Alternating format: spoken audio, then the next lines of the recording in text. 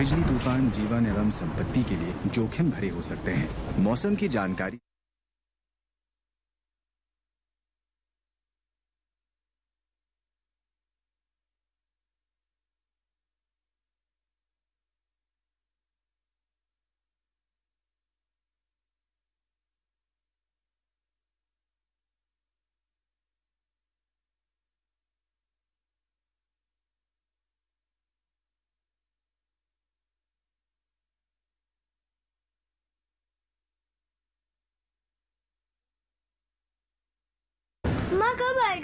अभी आएगा। अरे बोलो ना माँ कब आएगा? बोला ना अभी आ जाएगा। ये ले आ गया कुआँ। अरे कुआँ नहीं माँ हमारे घर नल से जल कब आएगा? नल से चल अरे गुड्डी बहुत जल्दी आएगा पानी। जल जीवन मिशन आ चुका है। हम एक कदम उठाएँगे तो सरकार दस कदम उठाएगी। सच? तुम्हारे मुँह में घी चक्कर। घी शक्कर नहीं माँ। स्वच्छ जल। 2024 तक देश के सभी 19 करोड़ घरों में पहुंचेगा पीने का साफ़ पानी। अब होगा हर घर जल। जल जीवन मिशन। जल शक्ति मंत्रालय भारत सरकार।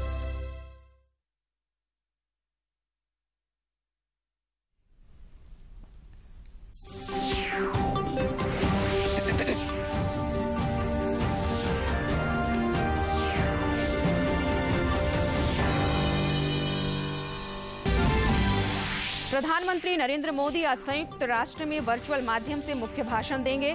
मरुस्थलीकरण भूमि क्षरण और सूखे के बारे में करेंगे उच्च स्तरीय संवाद। विश्व रक्तदाता दिवस पर मुख्यमंत्री ने छह जिलों में ब्लड कंपोनेंट सेपरेशन यूनिट का किया वर्चुअल शिलान्यास, कहा मरीज़ और परिजनों को साथ में डोनर लेकर चलने की व्यवस्था होगी खत्म। स्वास्थ्य मंत्री बन्ना गुप्ता ने पोस्ट कोविड मरीजों के लिए ऑनलाइन एप्लीकेशन किया लॉन्च, कहा स्वास्थ्य सुविधाओं में बढ़ोतरी से लोगों की परेशानियाँ होंगी दूर। और कोविड के दौरान अप्रवासी मजदूरों को राहत देने के मामले में केंद्र सरकार ने सुप्रीम कोर्ट में दायर किया हलफनामा, कहा अधिकतर राज्यों में वन नेशन, वन कार्ड योजना है लागू।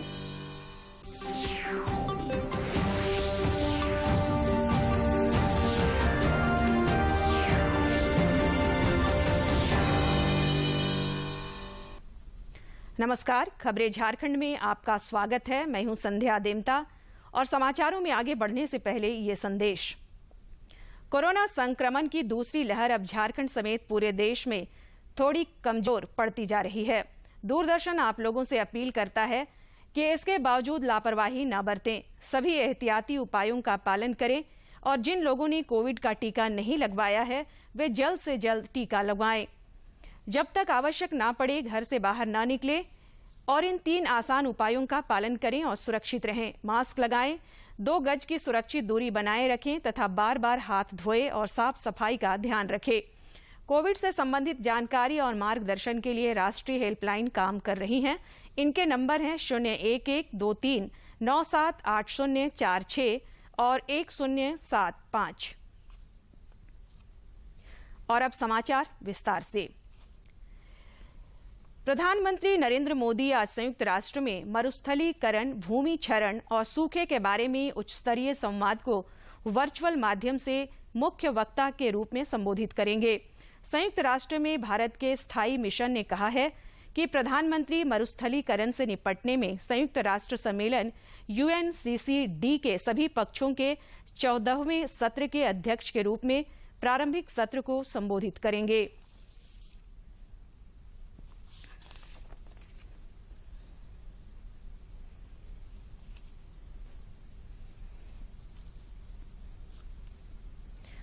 विश्व रक्तदाता दिवस पर मुख्यमंत्री हेमंत सोरेन ने आज छह जिलों, रांची, गुमला, पलामू, धनबाद, गिरिडीह और पूर्वी सिंहभूम ज़िले में ब्लड कंपोनेंट सेपरेशन यूनिट का वर्चुअल शिलान्यास किया।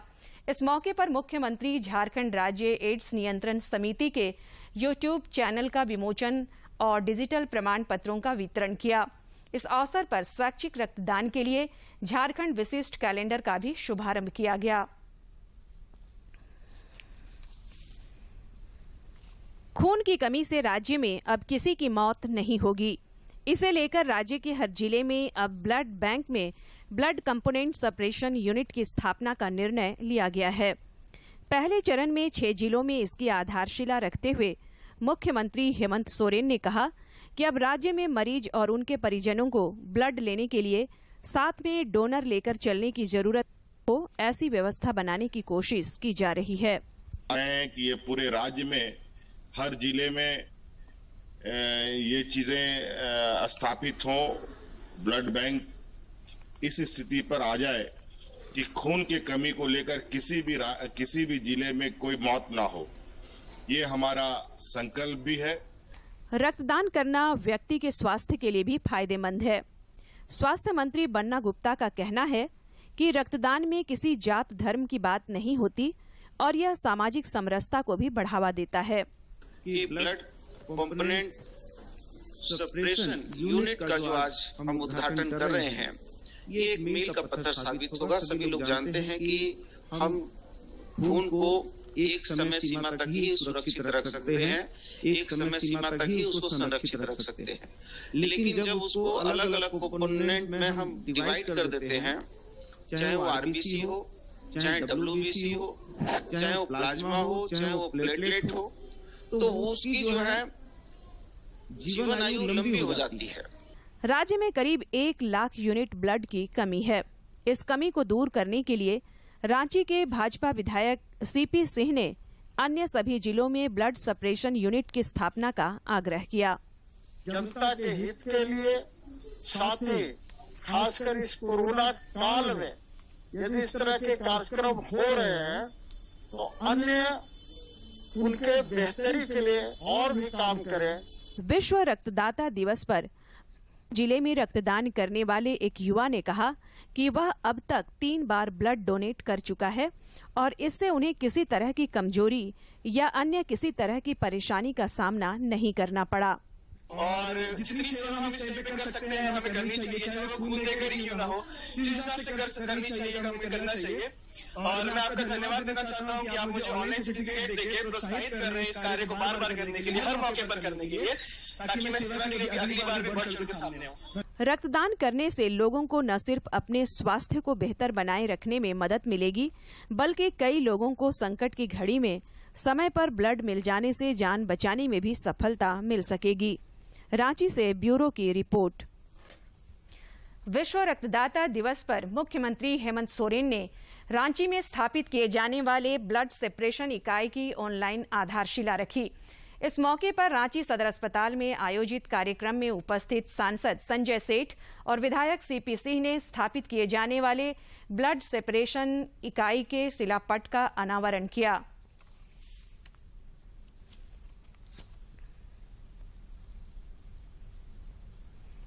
मुख्यमंत्री हेमंत सोरेन ने गुमला सदर अस्पताल में स्थापित होने वाले ब्लड कंपोनेंट सेपरेशन यूनिट का भी आज ऑनलाइन शिलान्यास किया। इस यूनिट की मदद से ब्लड के विभिन्न अवयवों को अलग किया जा सकेगा और एक व्यक्ति द्वारा एक यूनिट किए गए रक्तदान से चार लोगों की जान बचाई जा सकेगी। आदिवासी बहुल गुमला ज़िले में लगभग 70 प्रतिशत महिलाएँ एनीमिक पाई जाती हैं। ज़िले में अब तक एक हज़ार लोगों ने रक्तदान के लिए अपना पंजीकरण कराया है, जिसमें करीब 250 महिलाओं की संख्या है जो लगातार रक्तदान करती हैं। ज़िले के उपायुक्त शिशिर कुमार सिन्हा का मानना है कि यूनिट की स्थापना हो जाने से लोगों की मुश्किलें दूर होगी।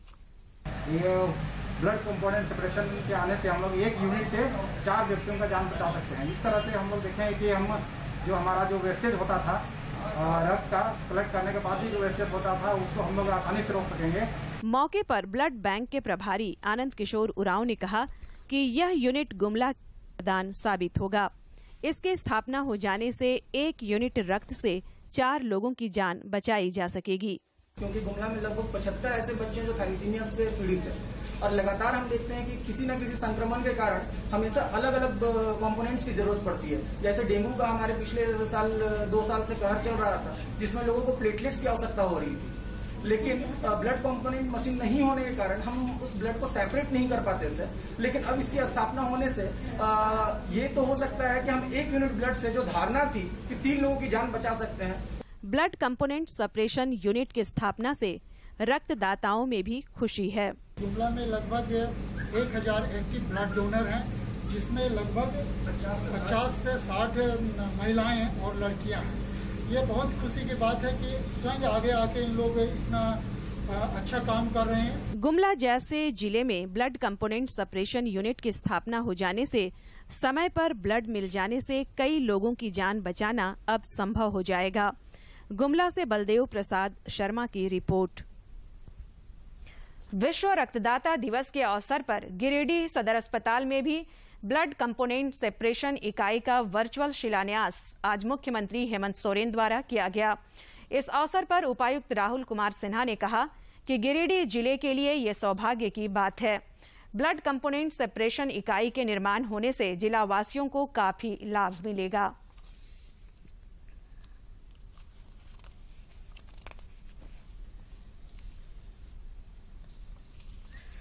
पूरी तरीके से स्थापना कर दी जाएगी जैसे कि आप सभी अवगत ही हैं कि रक्त हमारे पूरे शरीर के बहुत महत्वपूर्ण तथ्यों में से एक होता है और बहुत विभिन्न किस्म के रोगों के इलाज के लिए खून की आवश्यकता मरीजों को पड़ती है।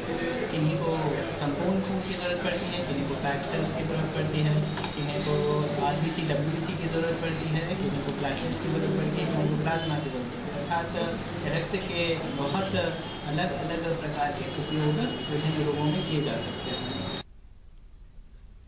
विश्व रक्तदाता दिवस के अवसर पर स्वास्थ्य मंत्री बन्ना गुप्ता ने भी आज रांची में रक्तदान किया। इस मौके पर स्वास्थ्य मंत्री ने कहा कि रक्तदान करने से कोई कमज़ोरी या किसी तरह की परेशानी नहीं होती है। उन्होंने सभी स्वस्थ लोगों से रक्तदान में बढ़ चढ़कर हिस्सा लेने की अपील की। रक्तदान के प्रति जागरूकता लाने के उद्देश्य से दुनिया भर में आज के दिन को विश्व रक्तदाता दिवस के रूप में मनाया जाता है। इस मौके पर रांची में भी कई जगहों पर रक्तदान शिविर लगाया गया। रक्तदान को जन अभियान से जोड़ने के उद्देश्य से आज विश्व रक्तदाता दिवस मनाया जा रहा है। इस मौके पर सिविल सोसाइटी खलारी की ओर से डकरा में शिविर लगाकर रक्तदान किया गया। थैलीसीमिया से पीड़ित बच्चों की मदद करना। है हमारा ये शिविर का तीसरा आयोजन है। सोसाइटी की ओर से आयोजित रक्तदान शिविर में बड़ी संख्या में स्थानीय लोगों ने हिस्सा लिया और रक्तदान किया। शिविर में हिस्सा लेने आए लोगों ने कहा कि रक्तदान के प्रति भ्रांतियाँ दूर होनी चाहिए। स्वस्थ व्यक्ति को समय समय पर रक्तदान करना चाहिए। बहुत ही सराहनीय प्रयास है जनहित के लिए। और इनका काम इस प्रगति पर अग्रसर है और इनका काम बहुत अच्छा हो रहा है रक्तदान को जीवन दान कहा जाता है। इस लिहाज से एक स्वस्थ व्यक्ति को दूसरों के लिए रक्तदान करना चाहिए। रांची से कर्मवीर की रिपोर्ट। विश्व रक्तदाता दिवस पर पूर्वी सिंहभूम रेड क्रॉस सोसाइटी द्वारा रक्तदान शिविर सह सम्मान समारोह का आयोजन किया गया। इस अवसर पर कोरोना गाइडलाइन का पालन करते हुए रक्तदाताओं ने रक्तदान किया।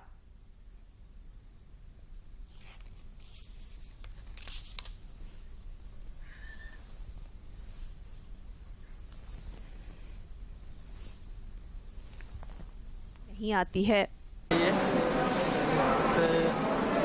और भी लोगों को सपोर्ट होता है। ब्लड डोनेशन करना चाहिए क्योंकि हम खुद भी स्वस्थ रहें एंड हमारे बाकी सब भी स्वस्थ रहें ब्लड डोनेशन भारतीय रेड क्रॉस सोसाइटी पूर्वी सिंहभूम शाखा की ओर से दान करने वालों को सम्मानित भी किया गया। सोसाइटी के महासचिव विजय सिंह का कहना है कि इस समय रक्त की काफ़ी आवश्यकता है। इसलिए लोग बढ़ चढ़ कर रक्तदान करें। रक्तदाताओं के सम्मान में ये यह दिवस आयोजित किया जाता है और इस दिन को हम लोग रक्तदाताओं को सम्मान, सम्मानित तो करते ही हैं। आज रक्तदाता रक्त, रक्तदान भी करते हैं और रक्तदान की का क्या महत्व है आदमी के जीवन में, इंसान के जीवन में, हमारे समाज के लिए, ये सारी चीज़ों का प्रचार प्रसार हम लोग करते हैं। किसी का जीवन बचाने में रक्त की क्या भूमिका है, इसकी जानकारी हम लोगों को देते हैं। जमशेदपुर स्थित भारतीय रेड क्रॉस सोसाइटी की ओर से समय समय पर रक्तदान शिविर का आयोजन किया जा रहा है और इसमें लोग बढ़ चढ़ कर हिस्सा लेते हैं। जमशेदपुर से डॉक्टर राजेश कुमार लालदास की रिपोर्ट। विश्व रक्तदाता दिवस के अवसर पर देवघर समाहरणालय परिसर से अनुमंडल पदाधिकारी दिनेश कुमार यादव द्वारा ब्लड डोनेशन ऑन व्हील को हरी झंडी दिखाकर रवाना किया गया।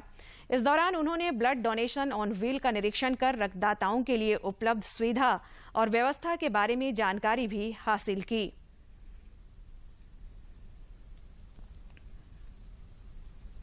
ब्लड डे है उसके शुभ अवसर पे ब्लड डोनेशन ऑन व्हील्स का कार्यक्रम जो उसका आयोजन किया गया है। तो यहाँ से हमने गाड़ी को हरी झंडी दिखाई है। और ये गाड़ी जो है जगह जगह जाके ब्लड कलेक्शन करेगी। और शुरुआत इसमें होगी अंबेडकर लाइब्रेरी से। तो वहाँ पे सारा अरेंजमेंट हो गया, उसके बाद मधुपुर इसको रवाना कर दिया जाएगा। तो वहाँ पे भी ब्लड कलेक्शन होगा। और इसमें बताना चाहेंगे कि कोरोना महामारी जो है, उसके आलोक में इसको किया गया और ज़ोर शोर से। हालाँकि ब्लड डोनर्स डे है, लेकिन और ज़्यादा इसकी आवश्यकता इस साल इसलिए बढ़ जाती है क्योंकि कोरोना महामारी का ये साल रहा है तो और भी उसकी दरकार बढ़ गई है। और मैं बहुत बहुत बधाई देना चाहूँगा रेड क्रॉस के सभी मेंबर्स को, सभी एग्जीक्यूटिव बॉडी के मेंबर्स को और बाकी जितने भी हमारे एन जी ओज़ हैं, जिन्होंने इसमें पार्टिसिपेट किया है बढ़ चढ़ के और इसको सफल बनाया है। और उम्मीद है कि लोग जो है बढ़ चढ़ के इस पर हिस्सा लेंगे और सिमडेगा के सदर अस्पताल परिसर में आज केंद्रीय मंत्री सह खूंटी के सांसद अर्जुन मुंडा द्वारा प्रदत्त कार्डियक एंबुलेंस का वर्चुअल माध्यम से उद्घाटन किया गया। श्री मुंडा ने उम्मीद जताई कि कोरोना काल में जीवन रक्षक प्रणाली युक्त इस एंबुलेंस से आम लोगों को काफ़ी लाभ मिलेगा। अपने संबोधन में उन्होंने लोगों तक सरकार की योजनाओं का लाभ पहुँचाने पर ज़ोर दिया। मौके पर सिमडेगा में उपस्थित अधिकारियों द्वारा कार्डियक एंबुलेंस को हरी झंडी दिखाकर रवाना किया गया।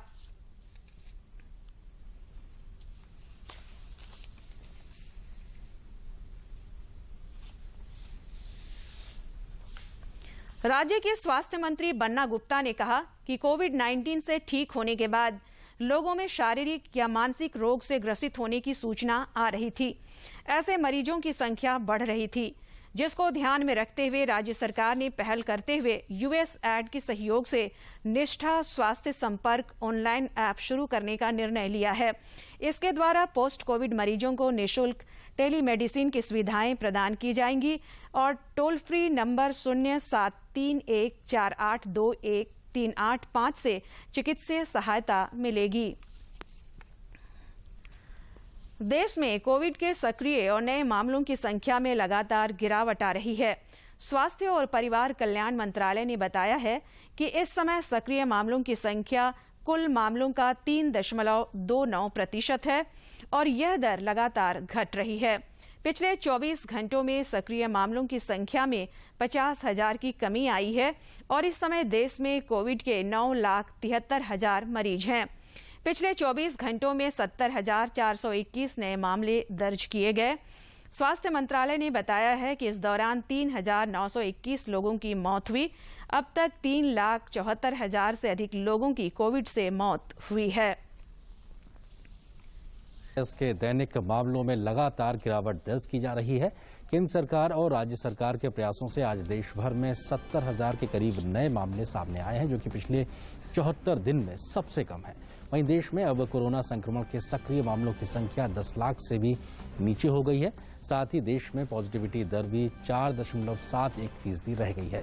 स्वास्थ्य और परिवार कल्याण मंत्रालय के मुताबिक पिछले 24 घंटों में सत्तर हज़ार चार सौ इक्कीस नए दैनिक मामले दर्ज किए गए हैं। वहीं एक लाख उन्नीस हज़ार सौ एक मरीज़ उपचार करवाकर स्वस्थ हुए हैं बीते 24 घंटे में। जिसके बाद देश में रिकवरी रेट बढ़कर पचानवे दशमलव चार तीन फ़ीसदी हो गया है। इस समय देश में सक्रिय मामलों की कुल संख्या नौ लाख तिहत्तर हज़ार एक सौ अट्ठावन है। बीते 24 घंटे में देश भर में कोरोना से तीन हज़ार नौ सौ इक्कीस लोगों की मौत भी हुई है।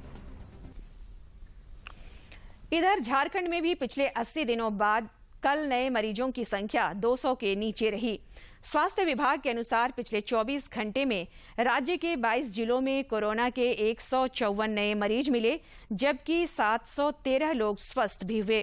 राज्य में अब एक्टिव मरीजों की संख्या घटकर तीन हज़ार तीन सौ पंचानबे रह गई है और रिकवरी रेट बढ़कर संतानवे दशमलव तीन प्रतिशत हो गई है। देश में अब तक 25 करोड़ 48 लाख से अधिक कोविड टीके लगाए जा चुके हैं। स्वास्थ्य और परिवार कल्याण मंत्रालय ने कहा है कि पिछले 24 घंटों में 14 लाख निन्यानबे हज़ार से अधिक टीके लगाए गए। देश में व्यापक टीकाकरण अभियान का तीसरा चरण चल रहा है और टीकाकरण ही कोविड महामारी से निपटने के लिए कारगर उपाय है। केंद्र सरकार राज्यों और केंद्र शासित प्रदेशों के सहयोग से टीकाकरण अभियान को और तेज करने में जुटी है। इधर झारखंड में भी टीकाकरण अभियान ने रफ्तार पकड़ ली है। अब तक 50 लाख से अधिक लोगों को कोविड 19 का टीका लगाया गया है। स्वास्थ्य विभाग की ओर से पिछले तीन दिनों में टीकाकरण को लेकर चलाए गए विशेष अभियान में करीब तीन लाख लोगों को टीके दिए गए। कोविड के दौरान प्रवासी मजदूरों को राहत देने के मामले में केंद्र सरकार ने सुप्रीम कोर्ट में हलफनामा दायर कर कहा है कि अधिकतर राज्यों में वन नेशन, वन कार्ड योजना लागू है। और 32 राज्यों और केंद्र शासित प्रदेशों में राष्ट्रीय खाद्य सुरक्षा कानून के तहत दिसंबर 2020 तक छियासी प्रतिशत लाभार्थियों तक इसका फ़ायदा पहुँचा है। हालाँकि दिल्ली, पश्चिम बंगाल, छत्तीसगढ़ और असम ने अब तक one nation, one ration card व्यवस्था को लागू नहीं किया है। One nation, one ration card लागू करने के दिल्ली सरकार के दावे को केंद्र ने भ्रामक बताया है। केंद्र सरकार ने सुप्रीम कोर्ट को बताया है कि दिल्ली में सिर्फ़ सीमापुरी क्षेत्र में इसे लागू किया गया है और मुट्ठी भर लोगों को इसका लाभ पहुँचा है। दिल्ली को दी गई 2000 ईपीओएस मशीनों में से केवल 42 को शुरू किया गया है। मुख्यमंत्री हेमंत सोरेन ने आज रांची के डोरंडा स्थित शिक्षा मंत्री जगन्नाथ महतो के आवास पहुंचकर वहाँ की व्यवस्थाओं का जायजा लिया। मुख्यमंत्री ने इलाज कराकर रांची लौटने से पूर्व श्री महतो के स्वास्थ्य की सुरक्षा के अनुकूल व्यवस्था करने का निर्देश संबंधित लोगों को दिया। मुख्यमंत्री ने मेडिकल उपकरणों का भी जायजा लिया। उन्होंने हर तरह की सावधानी बरतने का आदेश दिया है। मालूम हो कि श्री महतो आठ माह बाद चेन्नई से इलाज कराकर झारखंड लौट रहे हैं। मुख्यमंत्री हेमंत सोरेन ने आज रांची के तुपुदाना स्थित बायोडायवर्सिटी पार्क का निरीक्षण किया। इस क्रम में मुख्यमंत्री ने वन विभाग के अधिकारियों को आवश्यक निर्देश दिए।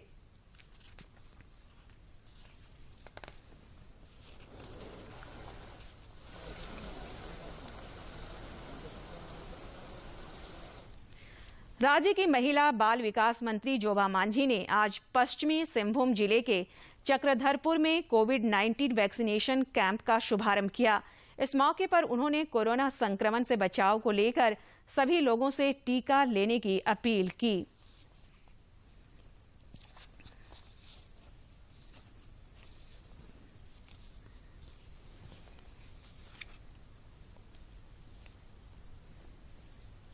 संयुक्त रूप से ये कोरोना से बचाव के लिए टीकाकरण का ये कार्यक्रम रखा है और इसमें हमारे जिला से आए उपायुक्तों अनुमति धन्यवाद करती हूँ और बधाई देती हूँ। पश्चिमी सिंहभूम के उपायुक्त अनन्या मित्तल ने ज़िले के कराईकेला स्थित राजकीय बुनियादी विद्यालय के सभागार में शिक्षकों जनप्रतिनिधियों मानकी मुंडा सेविका सहिया और प्रबुद्ध नागरिकों के साथ बैठक की। मौके पर उन्होंने कोविड 19 टीकाकरण अभियान के लाभ से ग्रामीणों को अवगत कराया और सभी से टीका लेने की अपील की।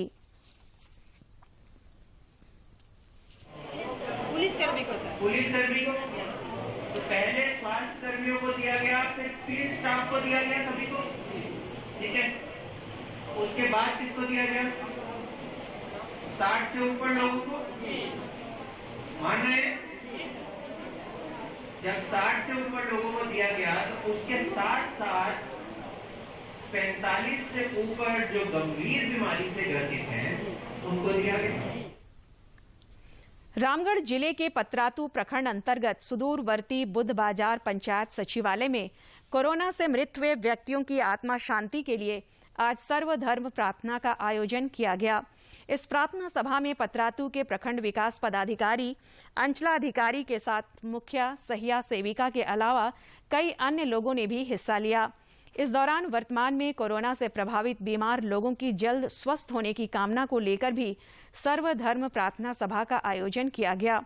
कार्यक्रम में सर्वप्रथम सामूहिक रूप से दो मिनट का मौन रखा गया और विभिन्न धर्म गुरुओं द्वारा अपने अपने स्तर से प्रार्थना की गई। राज्य मंत्रिमंडल की बैठक आगामी 22 जून को रांची के प्रोजेक्ट भवन स्थित राज्य सचिवालय सभागार में होगी।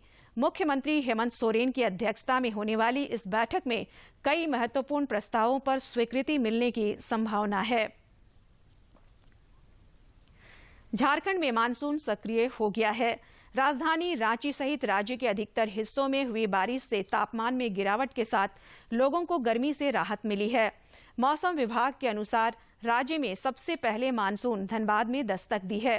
रांची स्थित मौसम विज्ञान केंद्र के वैज्ञानिक अभिषेक आनंद ने बताया कि अगले 24 घंटे में राज्य में मानसून पूर्ण रूप से सक्रिय हो जाएगा। प्रधानमंत्री नरेंद्र मोदी 27 जून को आकाशवाणी पर मन की बात कार्यक्रम में अपने विचार साझा करेंगे। यह मासिक रेडियो कार्यक्रम की अठहत्तरवीं कड़ी होगी। प्रधानमंत्री ने कार्यक्रम की आगामी श्रृंखला में लोगों से उनके विचार आमंत्रित किए हैं। लोग नमो ऐप या माई जीओवी ओपन फोरम में अपने विचार साझा कर सकते हैं। वे टोल फ्री नंबर एक आठ शून्य शून्य, एक एक सात आठ शून्य शून्य पर भी डायल कर सकते हैं और प्रधानमंत्री के लिए अपना संदेश हिंदी या अंग्रेज़ी में रिकॉर्ड कर सकते हैं। लोग एक नौ दो दो पर मिस्ड कॉल भी दे सकते हैं और एसएमएस से प्राप्त लिंक का अनुसरण करके सीधे प्रधानमंत्री को अपने सुझाव दे सकते हैं। और अब सेहत की बात में देखिए, कोविड से कैसे सुरक्षित रह सकते हैं मधुमेह के रोगी। मधुमेह रोगियों में कोविड 19 से संबंधित जटिलताएँ होने का खतरा अधिक होता है। ऐसे में वो कौन सी सावधानियाँ हैं जिन्हें अपनाकर कोविड संक्रमण के खतरे को कम किया जा सकता है, ये समझने की आवश्यकता है। डॉक्टर अशोक झिंगन, जो लोग मधुमेह से ग्रस्त हैं, उनमें कोविड की जटिलताएँ अधिक होने का खतरा क्यों होता है? डायबिटीज़ के मरीजों में कोविड होने की संभावना बहुत अधिक होती है, क्योंकि उसके दो तीन कारण होते हैं। एक तो शुगर का मात्रा ज़्यादा होना दूसरी डायबिटीज़ के मरीजों के अंदर कोमॉर्बिडिटीज होती हैं, जैसे heart disease and kidney disease इसलिए इन लोगों के अंदर कोविड इन्फेक्शन होने के चांसेस अधिक रहते हैं। हर डायबिटीज़ के मरीज़ को अगर कोविड से बचना है तो उनको वैक्सीनेशन ज़रूर कराना चाहिए, क्योंकि वैक्सीनेशन के द्वारा निश्चित रूप से वो कोविड की बीमारी को तो रोक ही सकते हैं, और अगर कोविड हो भी जाता है तो उसकी सीवियरिटी कम होगी। मधुमेह रोगी किन बातों का ध्यान रखें? जिससे कोविड के संक्रमण का खतरा कम हो। अपना रेगुलर ब्लड शुगर मॉनिटर कराएँ ब्लड शुगर को कंट्रोल में रखें। इसके साथ साथ हाइड्रेशन अच्छा रखें मतलब फ्लूइड इनटेक ठीक रहना चाहिए। और तीसरी, सबसे इंपॉर्टेंट चीज़ ये है कि आप जो दवाइयाँ लेते हैं, अगर आप ब्लड प्रेशर की दवाई ले रहे हैं या शुगर की दवाई ले रहे हैं, उसके साथ साथ अपना फॉलोअप भी करें। जो आपका डॉक्टर है उसको आप बताते रहें अपनी प्रोग्रेस कि आपकी शुगर के लेवल नियंत्रण में है या नहीं या आपकी ब्लड प्रेशर के लेवल जो है कंट्रोल में है नहीं उसके हिसाब से वो डॉक्टर आपकी दवाइयों को एडजस्ट कर सकते हैं। यदि आप भी मधुमेह रोग से प्रभावित हैं तो और भी आवश्यक हो जाता है कि आप सतर्क हो जाएँ, कोविड अप्रोप्रिएट बिहेवियर अपनाएँ और उन तमाम बातों का ध्यान रखें जिन्हें अपनाकर कोविड 19 के संक्रमण के खतरे को कम किया जा सकता है। किरण भारद्वाज डीडी न्यूज़ और अब आखिर में इस बुलेटिन के मुख्य समाचार, एक बार फिर। प्रधानमंत्री नरेंद्र मोदी आज संयुक्त राष्ट्र में वर्चुअल माध्यम से मुख्य भाषण देंगे। मरुस्थलीकरण, भूमि क्षरण और सूखे के बारे में करेंगे उच्च स्तरीय संवाद। विश्व रक्तदाता दिवस पर मुख्यमंत्री ने छह जिलों में ब्लड कंपोनेंट सेपरेशन यूनिट का किया वर्चुअल शिलान्यास। कहा, मरीज़ और परिजनों को साथ में डोनर लेकर चलने की व्यवस्था होगी खत्म। स्वास्थ्य मंत्री बन्ना गुप्ता ने पोस्ट कोविड मरीजों के लिए ऑनलाइन एप्लीकेशन किया लॉन्च, कहा स्वास्थ्य सुविधाओं में बढ़ोतरी से लोगों की परेशानियाँ होंगी दूर। और कोविड के दौरान अप्रवासी मजदूरों को राहत देने के मामले में केंद्र सरकार ने सुप्रीम कोर्ट में दायर किया हलफनामा, कहा अधिक